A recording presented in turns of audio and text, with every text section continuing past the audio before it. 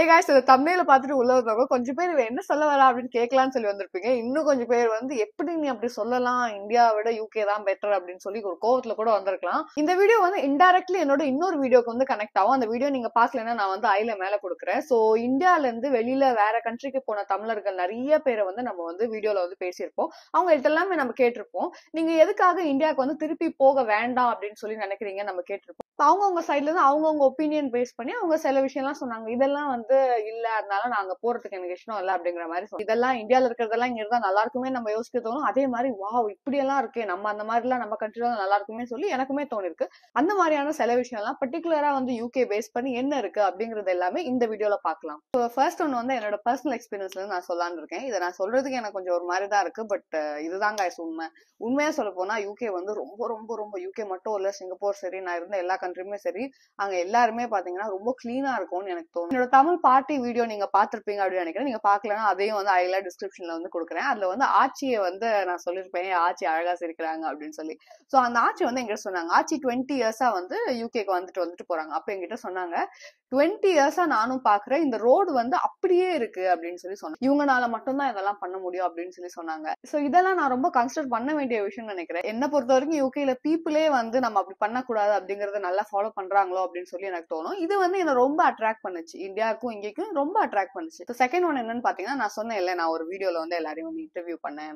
ஐ மீன் நம்ம பேசணும் நிறைய உலகத்துல இருந்து நிறைய தமிழ் பீப்புள் அரௌண்ட் எல்லாருமே சேமா ஒரு விஷயம் என்ன சொன்னாங்கன்னா ரூல்ஸ் வந்து இங்கெல்லாம் ரொம்ப ஸ்ட்ரிக்டா இருக்கும் அப்படின்னு சொல்லி சொன்னாங்க. இன்ஃபேக்ட் நிறைய பேருக்கு அது சர்ப்ரைசிங்கா இருக்கலாம். ரூல்ஸ் ஸ்ட்ரிக்டா இருக்கும் போதுதான் வந்து பீப்புள் ஒரு மாதிரியான ஒரு இதுல போறாங்களோ அப்படின்னு எனக்கு தோணும். அது எல்லாமே உங்களுக்கு ஸ்கூல்ல இருந்து நம்ம கிட்ட சொல்லிதான் பழகுறாங்க. இன்ஃபேக்ட் இதெல்லாம் எனக்கு சொல்லலாமான்னு தெரியல. லஞ்சம் அப்படிங்கிறது நிறைய மூவிஸ்ல எல்லாம் வந்து நம்ம பார்த்துருப்போம் இல்லையா? அதாவது இந்தியால வந்து லஞ்சம் வாங்குறாங்க அப்படிங்கறதெல்லாம். சோ அந்த மாதிரி எந்த மாதிரியான கான்செப்ட்டுமே வந்து யூகேல வந்து கிடையவே கிடையாது. லஞ்சம் அப்படிங்கிற ஒரு விஷயம் வந்து சுத்தமா இருக்கவே இருக்காது அப்படிங்கறதுனால நீங்க தப்பு பண்ணிட்டா அதுக்காக வெளியில வர்றதுக்கான வாய்ப்புகள் அதெல்லாம் ஒண்ணுமே இல்ல. லா அண்ட் ஆர்டர் பண்ணி நீங்க போனே சரியா எவிடன்ஸ் எல்லாம் வந்து இது பண்ணாதான் வந்து வரவே முடியும். சில நேரம் பாத்தீங்கன்னா ஸ்பீடிங் டிக்கெட் வந்து சிக்ஸ்டி பவுண்ட் சில நேரம் ஹண்ட்ரட் பவுண்ட் இந்த பார்க்கிங் இதுக்கெல்லாம் வந்து வரும். அப்பெல்லாம் நான் யோசிப்பேன் ஏய் என்ன இதெல்லாம் ஒரு சின்ன இதுக்கெல்லாம் இப்படி பண்றாங்க? ஒரு புள்ளி இது பண்ணதுக்கு இப்படி எல்லாம் பண்றாங்களே? அப்படின்னு சொல்லி எல்லாம் எனக்கும் வரும்.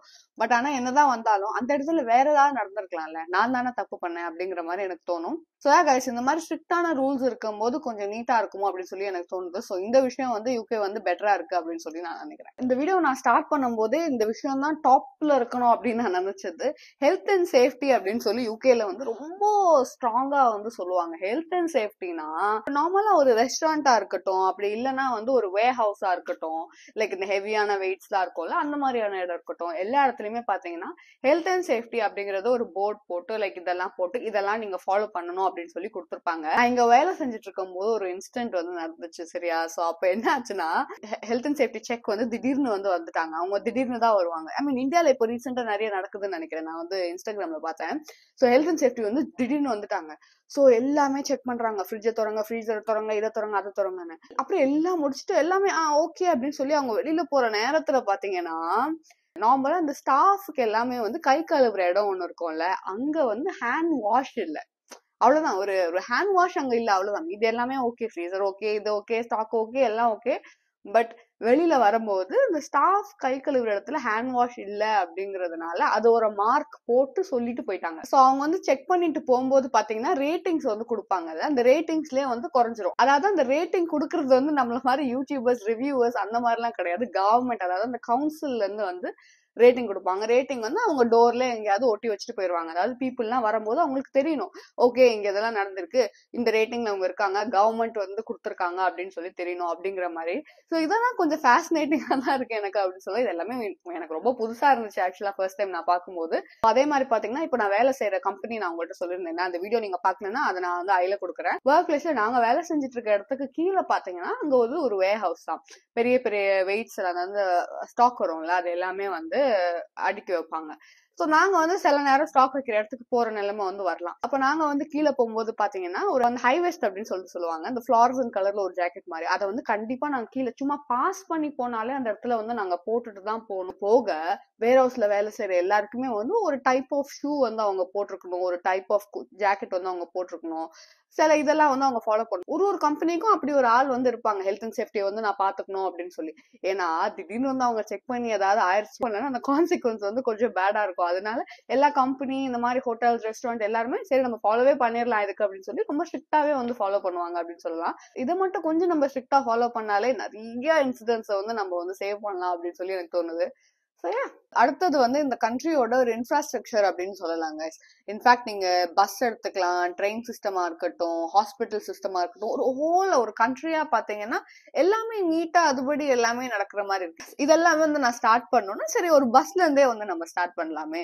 ஸோ இந்தியால வந்து நார்மலா நான் பஸ் எடுத்த டைம் பல வருஷம் ஆச்சு இப்போ மாறிச்சா அப்படின்னு எனக்கு தெரியல. நான் எடுத்த டைம் வந்து பஸ்ல நம்ம ஏறுவோம். டிரைவர் சீட் வந்து எல்லாம் ரொம்ப ஓப்பனா வந்திருக்கும். பஸ்ல ஏறுவோம். நம்ம டிக்கெட் வாங்குவோம் கண்டக்டர் கிட்ட. நம்ம போய் உட்காந்துருவோம் கண்டக்டர் டிக்கெட் கொடுப்பாங்க. அதுக்கப்புறம் நம்ம பஸ் ஸ்டாப் வருவோம் இறங்குவோம் அண்ட் ஆல் தட் பஸ்ல வந்து நிறைய பேர் ஹேங் பண்ணிட்டு வருவாங்க அண்ட் ஆல் தட் இதெல்லாம் வந்து இந்தியாவில் நார்மலா வந்து நடந்துட்டு பட் யூகேல வந்து பஸ் ஏறினாலே வந்து நீங்க பார்த்தாலே தெரியும். டிரைவருக்குன்னு தனியா ஒரு கிளாஸ் ஷீல்ட் போட்டு தனியா ஒரு இடம் வந்து இருக்கும். அதாவது பேசஞ்சர்ஸ் வந்து டிரைவர்லாம் எதுவுமே பண்ண முடியாது. அந்த மாதிரி ஒரு சேஃபான இடத்துல வந்து இருப்பாங்க. அதுக்கப்புறம் பாத்தீங்கன்னா கண்டக்டர் வந்து இந்த யூகே பஸ்ல வந்து கிடையாது. அதாவது நீங்க டேப் பண்ணிட்டு தான் போகணும். கார்டை வச்சு ஃபர்ஸ்ட் ஏறின உடனே டிரைவர் கண்ணு முன்னாடி டேப் பண்ணிட்டு தான் போகணும். அப்படிங்கிறதுனால கண்டக்டருக்கான அவசியம் வந்து அந்த பஸ்ல வந்து கிடையாது. ஸோ ஏறுறவங்க எல்லாம் ஒரே இடத்துல தான் ஏறணும். அவங்க எல்லாருமே டேப் பண்ணிட்டு தான் வந்து உள்ள போகணும். அது போக இந்த தொங்குற கான்செப்ட் அதெல்லாம் வந்து எதுவுமே கிடையாது. அதுல வந்து பாத்தீங்கன்னா கதவெல்லாம் கொஞ்சம் க்ளோஸ் பண்ணிட்டு தான் வந்து கூட்டிட்டு போவாங்க. பஸ் வந்து ஃபில் ஆயிடுச்சுன்னா அந்த ஸ்டாப்ல வந்து நிக்காம போவாங்க. ஸோ இதெல்லாம் வந்து நார்மலா நடக்கிறது தான் ஸோ இந்த மாதிரி ஒரு சின்ன விஷயத்துல இருக்கிற ஒரு டிசிப்ளினா இருக்கட்டுமே ஒரு மாதிரியான ஒரு இன்ஃப்ராஸ்ட்ரக்சர் வந்து யூகேல நல்லா இருக்கும் அப்படின்னு சொல்லி எனக்கு தோணுது. அடுத்தது வந்து எல்லா வீடியோலயும் நான் சொன்னதுதாங்க ஹெல்த் கேர் அப்படின்னு ஒரு விஷயம். யூகேல வந்து ஹெல்த் கேர் எல்லாமே வந்து ஃப்ரீயா அதை நான் முன்னாடில இருந்து வந்து சொல்லிட்டே தான் இருக்கேன். அதுக்கு கவுண்டர் கொடுக்குற மாதிரி நிறைய பேர் சொன்னாங்க. என்னதான் ஹெல்த் கேர் ஃப்ரீயா இருந்தாலும் நம்ம எவ்வளவு நேரம் வெயிட் பண்ணோம் தெரியுமா? அவங்க நம்மளை இப்படி பண்ணுவாங்க.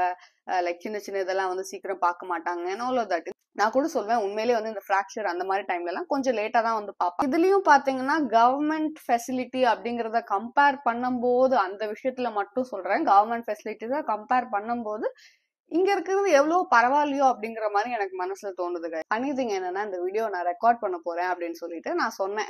தெரிஞ்சவங்க எல்லாருக்கிட்டையும் சொன்னேன் அப்ப அவங்க எல்லாரும் கொஞ்சம் விளையாட்டா வந்து சொன்னாங்க. எல்லாருக்குமே தெரியும்ல ரீசெண்டா இந்தியால வந்து நிறைய பிரிட்ஜ் எல்லாருமே வந்து உடஞ்சு உடஞ்சு விழுவுது.